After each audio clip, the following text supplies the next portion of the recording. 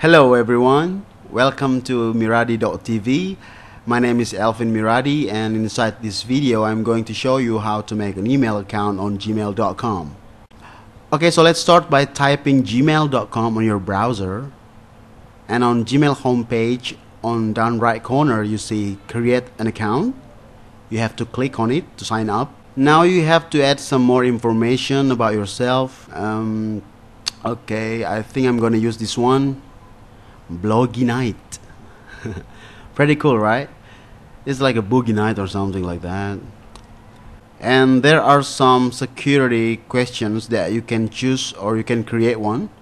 It is very important to put a very specific answer for the question you have to make sure that no one else know the answer so that Gmail can protect your email better.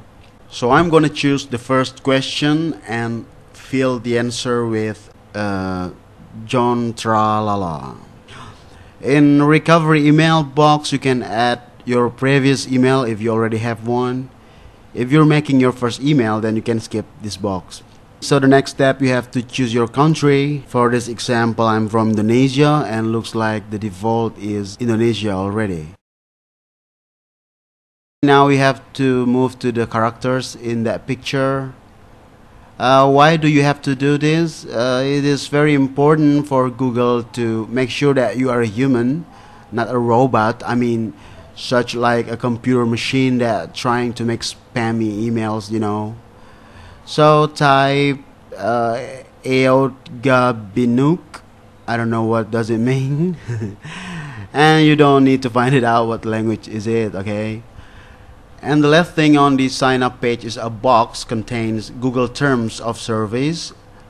This is kind of rules made by Google like uh, do's and don'ts about your new email address, you know.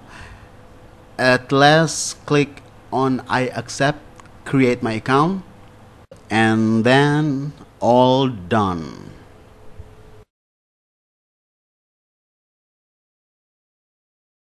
This is a welcome page from Gmail introducing some features in their service. Now you can click on show me my account to move forward to your email.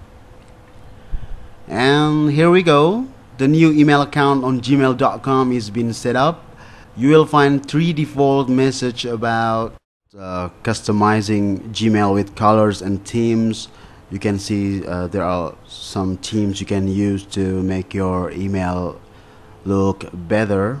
It's nothing to do with performance anyway. Uh, another message is about how to import your contacts uh, from your old email if you have uh, old email, of course. And the last um, is about how to get your Gmail on your mobile phone.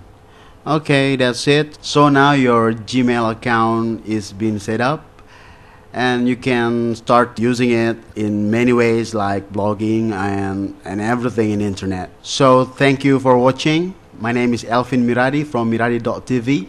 See you in the next video.